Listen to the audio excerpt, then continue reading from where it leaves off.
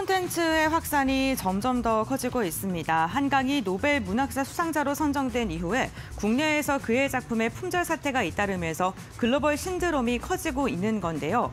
여기에 한국 네이버 웹툰이 일본어 서비스 라이망가는 지난 9월 일본 엠마켓에서 소비자 지출 1위에 올랐다는 소식도 전해졌습니다. 2027년 콘텐츠 수출액 역시 두 배 이상 확대될 것으로 기대되는데요.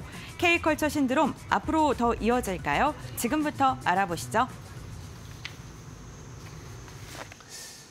예, 사실은 이제 K 컨텐츠 이렇게 이제 통칭을 하는 건데 여기에 뭐 다시 다양하죠. 어, 앞서 나온 것처럼 뭐 드라마, 뭐 팝도 있고, 어, 그 다음에 어, 영화도 있고, 그 다음에 이런 웹툰도 있고요. 사실 어떻게 보면 이 K 컨텐츠라는 이 큰 틀에 뭐 푸드, 그러니까 요즘에 이제 그 흑백 요리사라는 그 넷플릭스 그, 어, 그 뭐죠? 이 예능 때문에 또 요리도 좀 뜨고 있습니다만 뭐 사실은 다 갖다 넣을 수 있을 것 같습니다. 이런 상황에서 이제 어, 오징어 게임 2 시즌 2가 된다고 하니까 이것만으로도 또 한 번 다시 이제 이 소위 말하는 이제 한류의 바람이 다시 한 번 더 거세게 불 수 있는 기회가 오는 게 아니냐 이런 기대감을 가질 수밖에 없는데 자 오늘 이 이슈를 어, 선정해 오신 곽윤아 아, 파트너로부터 얘기를 좀 들어보겠습니다. 어떻게 보시겠어요? 어, 일단 뭐 긍정적으로 보고 있고요. 이번에 그 한강 노벨 문학상 관련지 열풍이 일단은 콘텐츠 아. 관련주들 사이에서도 약간 좀 불을 지피는 역할을 주식 시장에서는 좀 어느 정도 한 것 같다라는 말하는 합니다. 한류의 책까지 이제 그렇죠. 얹어진 내면. 예. 그런데 이제 콘텐츠 종목들이 또 잘 올라갔었던 또 때를 생각을 해보면 오징어 게임 시즌 원이 음. 한참 또 시장에서 또 관심을 받는 그 시즌에 관련 중소형 콘텐츠 종목들이 많이 부각이 됐었거든요. 그런데 어. 반면에 영화 쪽은 코로나로 인해서 많이 좀 침체되어 맞아요. 있었습니다. 그런데 이제 최근에는 우리 국내 영화 시장 역시도 같이 함께 좀 되살아나려고 하는 그런 분위기들도 같이 함께 간지가 되고 있기 때문에 예. 관련 이제 콘텐츠 종목들 확실히 지금 낙폭이 또 큰 상황이기 때문에 순환매 관점으로도 눈여겨 볼 만한 시점이라 보고 있거든요. 예. 사실 저는 이제 오징어 게임 하면은 떠오르는 게임들이 몇 가지가 있는데요. 그 예. 중에서 첫 번째가 무궁화 꽃이 피었습니다라고 볼 수 있을 것 같고요. 맞아요. 그 영화 내용에 그게 있잖아요. 네, 그리고 이제 줄다리기 뭐 부분들도 맞아요. 나오는데 네. 해외의 그런 이제 외국인들이 받아들이기에는 무궁화 꽃이 피었습니다가 많이 좀 culture shock였었나 봅니다. 아. 네, 그래서 음. 그 stand-up 코미디언인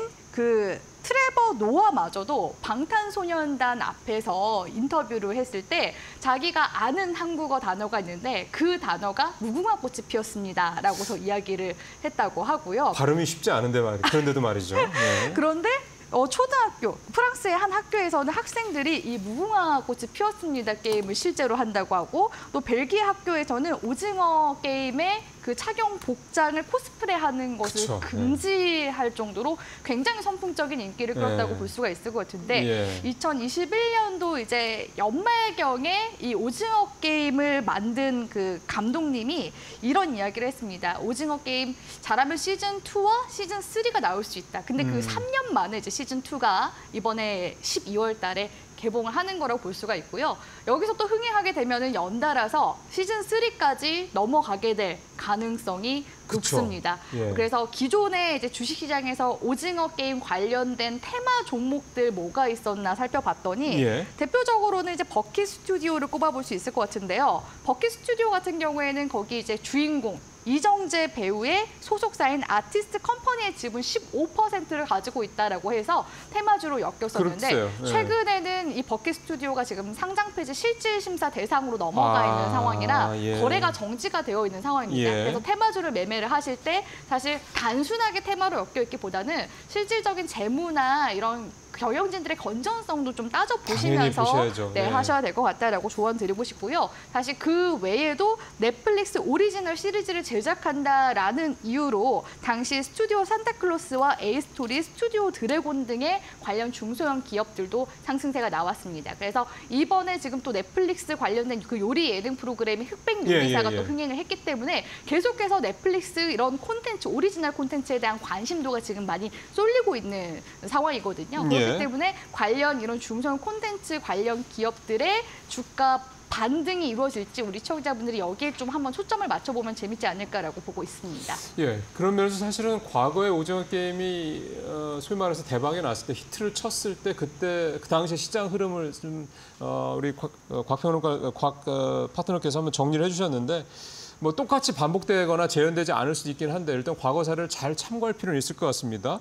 어, 곤배 앵커가 아, 이 한국 콘텐츠와 관련된 K 콘텐츠 관련된 어, 그 관심주들 한번 살펴보겠습니다.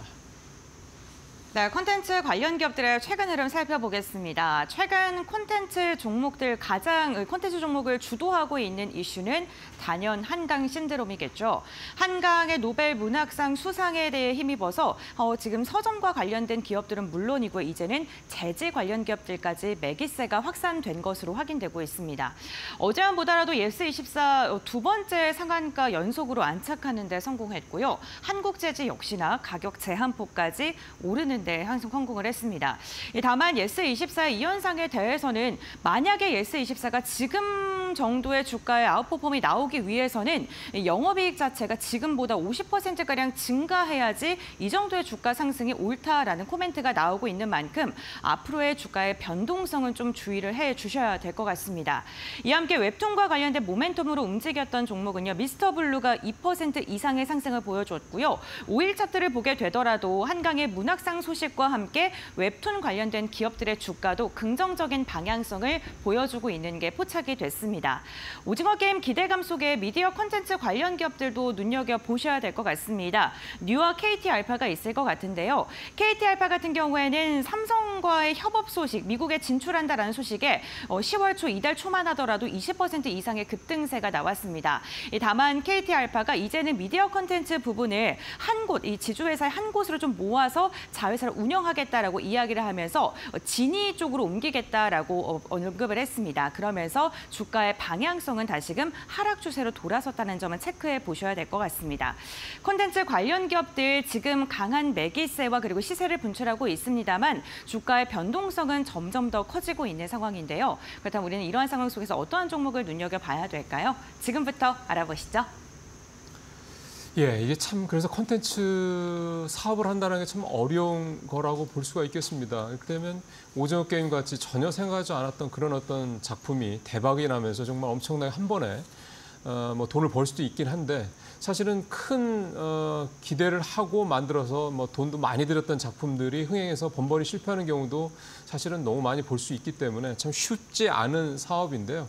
그런 면에서 이제 콘텐츠 산업의 특성이 이렇다 보니까 그런 것도 좀 감안하면서 투자 전략을 좀 짜셔야 될 것 같습니다. 그래서 이제 어, 우리 어, 곽 파트너께서는 이 K 콘텐츠 관련 중에서 어떤 회사를 좀 보시는지 말씀 좀 들어보죠. 네, 저는 쇼박스 가지고 왔었는데요. 아, 뭐, 예, 잘 네. 알죠. 예. 쇼박스 같은 경우에는 이전에 오징어 게임 그 제작사인 싸이런 픽쳐스의 초기 투자자로서 한번 시장에서 부각이 됐었던 적이 있었습니다. 예. 그래서 주가상의 움직임도 한번 잠깐 보면요. 월봉 차트 잠깐 한번 보도록 하겠습니다. 월봉 차트 보면은 지금 candle 두 개가 지금 급등세가 이제 월봉상 나타난 것을 볼 수가 있는데요. 예. 이때 2021년도 9월 달에 이제 오징어 게임이 개봉이 됐었고 연이어서 한 두 달 정도까지는 이런 관련 랠리가 나온 모습을 네, 두달 네, 체크를 해보실 수가 있습니다. 그래서 사실 쇼박스의 투자금 자체는 약 1억 원에 불과한 소액에 불과하기 불과하지만 콘텐츠 투자 성과를 입증했다라는 점에서 시장에서 많이 좀 어, 관심 있게 보고 또 주가상으로 나타난 것으로 보여지고요. 예. 사실 이 쇼 박스 같은 경우는 또 배급사로서의 역할을 하지 않습니까? 사실은 그래서 더 많이 알려져 있죠. 네네. 예. 그래서 유망 이제 제작사를 발굴하는 차원에서 많은 그런 이제 제작사 쪽에 소액의 이런 초기 프로젝트에 투자를 많이 하는 편입니다. 그래서 사실 쇼박스 쪽에서는 오징어 게임과 연관 없는 프로젝트에 투자를 했었었다라고서 이야기를 했음에도 불구하고 시장에서는 이런 이제 오징어 게임 관련 테마로 엮이면서 이러한 상승세가 나왔다라고 볼 수 있을 것 같고요. 예. 어, 쇼박스의 그 기업 적인 재무 분석도 한번 보면요. 네. 이 코로나 때는 완전히 적자였었고 2021년도에는 한 해 동안 그래도 영업이익이 한번 흑자로 돌아섰었는데 2022년도와 2023년도에는 또 다시 내리 어, 연속 적자가 좀 강하게 나왔습니다. 예. 그래서 작년 같은 경우에는 거의 뭐 자본 잠식이 진짜 위험할 정도로 그 정도로 이제 어, 283억 원대의 적자를 내기도 했었는데요. 근데 올해 이제 실적적인 부분들을 보시면 1분기에도 대규모 흑자를 냈고요. 그리고 지금 2분기 역시도 흑자 기조를 이어나가고 있는 모습들 볼 수가 있습니다. 이러한 쇼박스의 반전은요. 어, 올 상반기 흥행한 영화 중에서 파묘라는 영화가 아, 있는데요. 그거 배급을 했군요. 네, 파묘가 성공하면서 거의 한 1,200만 명에 가까운 관객 몰이를 하면서 기염에 토했고요. 그 전에는 사실 쇼박스에서 내놓은 그런 이제 영화 중에서 비상선언이라든지 비공식 작전 등의 기대작들이 흥행에 미치지 못해서 맞아요. 주가상으로도 마찬가지고 재무적으로도 어, 불안정할 수밖에 없었습니다. 음. 그런데 이제 그 파묘의 흥행을 또 이끌었었던 여- 그 여자 주연 배우인 김고은이 김고은 씨, 출연한 예. 네, 대도시의 사랑법이 이번 이제 10월달 지금 개봉이 된 상황이고요. 또 다른 오컬트 영화 사흘 역시도 이제 개봉을 앞두고 있기 때문에 이 영화들의 또 흥행 여부에 따라서 주가상의 움직임이 또 갈릴 가능성이 높고 향후 지금 오징어 게임에 대한 모멘텀도 있기 때문에 지금부터 이 쇼박스의 이런 흑자 전환에 대한 모멘텀도 주목해 보신다면 지금 구간 충분히 매력이 있는 구간이라고 보고 있습니다. 예, 김고은 씨 어, 주연의 이 대도시의 사랑법은 지금 이제 한참 예, 흥, 예, 흥- 얘기가 예, 좀 보여지고 있는 흥행이 되고 있는 상영이 되고 있는 영화고 이게 사실 파묘 때문에 오컬트 영화가 국내에서 다시 한번 또 어, 어, 주목을 받았는데 또 새로운 영화가 좀 나온다. 근데 파묘가 참 워낙 크긴 했습니다. 사실은 이게 에, 기대를 별로 안 했던 오컬트 영화이기 때문에 뭐 일부 매니아들만 보는 게 아니냐 싶었는데 실제로 뚜껑을 열고 난 다음에 엄청난 큰 흥행을 해서요. 그런 부분들이 참 어, 의외성이 있는 분야다라는 생각이 들 수밖에 없는 대목입니다. 이사님도 영화 보는 거 좋아하십니까? 저는 오징어 게임도 안 봤습니다. 아 그래요? 네.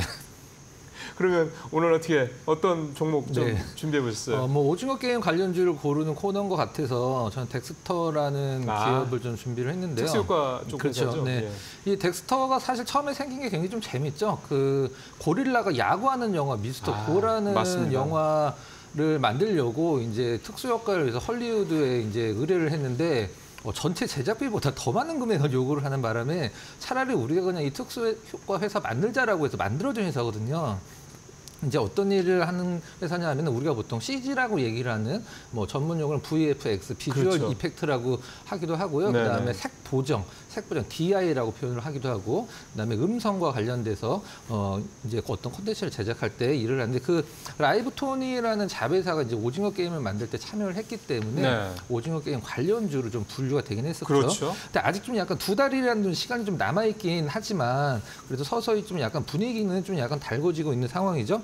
어, 최근에 이제 아시아 컨텐츠 어워즈에서 어, 비주얼 이펙트 부분에서 이제 상도 하나 받아서 네. 어, 기술력도 좀 과시를 했고 실질적으로 이 덱스터 같은 경우는 물론 지금 뭐 넷플릭스를 중심으로 해서 많은 OTT에서 작업을 하고 있긴 합니다만 원래 기반은 중국의 영화예요. 중국 시장에서 엄청나게 상승을 해서 매출을 올렸던 기업인데 네. 한학령 때문에 이게 매출이 훅 떨어져서 지금 이제 OTT가 다행히 어, 그쪽으로 이제 매출을 많이 올리고 있는 상황이죠. 이 역시 저 사드 사태 피해주라고 그렇죠. 봐야 되는 그렇죠. 거군요. 피해주 중에 하나죠. 네. 네. 어, 차트 한번 잠깐 예? 보시면 어, 이제 노란색으로 동그라미가 쳐져 있는 걸 보실 수 있는데 네. 이때가 바로 오징어 게임 시즌 1이 이제 발표가 된 때죠. 네. 어, 그 전서부터 올라가고 있었는데 사실 어, 주가 상승률만 본다라고 하면 오징어 게임 관련주들 중에서 상승률은 아마 가장 높았을 거예요. 근데 음. 제가 봤을 때는 이건 오징어 게임 때문이 아니라 어, 이때 당시에 이제 메타버스라는 테마를 아. 강하게 탔기 때문에 네. 덱스터가 그 중에서 아마 상승률이 좀 뛰어났던 것 같고요. 최근의 흐름 보면은 중간 중간에 띄엄띄엄 좀 약간 장대 양봉으로 어떤 일회성 상승이 나오고 다시 조정을 들어가는 느낌 주고 있는데 어, 일단 아직까지는 뭐 덱스터의 그 시장에 어떤 주목할 수 있는 부분이 크진 않긴 합니다만은 두 달 정도 남은 상황에서 이제 오징어 게임 2에 대한 어떤 시장의 이슈가 산발적으로 해서 좀 나오면서 예. 흥행몰을 한다라고 하면 뭐 덱스터 지금 자리에서는 뭐 관심을 가져볼 만한 종목이라고 생각하고 있습니다. 예, 어쨌든 지금 바닥을 찍고 꽤 반등을 좀 한 상황이긴 합니다. 네네. 어, 4,870원까지 떨어졌던 지난 더울 때였나요? 8월 초순쯤에. 그러다가 지금 한 두어 달 사이에 어, 7,700원대까지 어, 올라와 있는 그런 상황입니다. 일단 어, 저점을 확인했다는 측면에서 봤을 때 지금부터 이제 뭔가 새로운 어, 모멘텀이 만들어진다면 다시 한 번 더 어, 반등을 할 수 있는 여지가 있고 어제 같은 경우도 보니까 어, 양봉을 밑에서 꼬리를 길게 만들고 양봉으로 올라오면서 이제 고점으로 마감이 된 걸 보니까 좀 그런 부분들도 좀 어, 작용을 좀 하지 않았나 그렇게 생각이 좀 듭니다. 예, 덱스터까지 좀 살펴봤습니다. 그래서 오늘 두 가지 주제, 반도체 에, 관련, 그 다음에 아, K 컨텐츠 관련 두 가지 주제를 가지고 오늘도 GC인포의 박근호 이사님, 그 다음에 이대립 어, 곽유정 파트너와 함께 말씀을 나눠봤습니다. 두 분 말씀 잘 들었습니다. 고맙습니다.